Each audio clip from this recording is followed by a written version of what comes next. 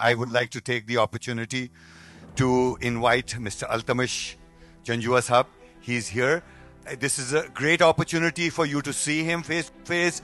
Please make an effort to meet him. But I really wanted to, I've heard so much of the initiative that he's already taken. I want to hear from him. Just a small remark would be really appreciated. Bismillah ar-Rahman ar-Rahim. Rabbi shrah li sadri wa yassir amri wa ahlul. Uh, it's I am elated to be here, sir. Uh, whatever we are doing, we are trying to fo- follow in the footsteps that you have set. You know, the work done by the Canadian Pakistan Business Council is amazing. It's a trendsetter organization that has brought the two countries together, and you know, we are really. I'm, it's a pleasure to be here, and we are trying to do what you know. You're doing fantastic job in education, community service. Tonight is all about you, and I think what you have done is really amazing all over Pakistan. Uh, we really hope that this partnership blossoms. Together, you have had made a difference, and together we will make a difference in the future. As a trade counselor, I see immense potential between you know strengthening the ties of the two countries together. Our diaspora here is the biggest asset that we have.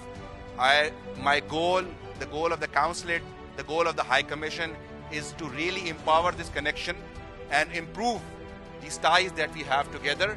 And you know, the future is all about economic diplomacy. Honorable Minister was just here. She was talking about a billion dollars that we have. My goal in the next three years is to make it at least 1.5 billion dollars. And you know, again, inshallah, if we all work together towards that goal, we can really make it happen. Some fantastic new uh, things are coming from Pakistan. Great things are going from Canada to Pakistan. Fawaz Bhai, you know, I think he's an amazing person that I just recently met. Uh, why I would really like to point out is that, you know, usually we have conventionally con- the conventional products like textile coming from Pakistan. But now, over the last few months, the biggest thing coming from Pakistan is actually plastics. So that is a really a good thing uh, that we see diversification of commodities that are coming into the country. La- yesterday, I was fortunate to meet the Vice President of Barrick Gold. So the biggest foreign investment coming into Pakistan in the next few years will be the investment that Barrick is making into Reko So amazing times. Really fortunate to be here.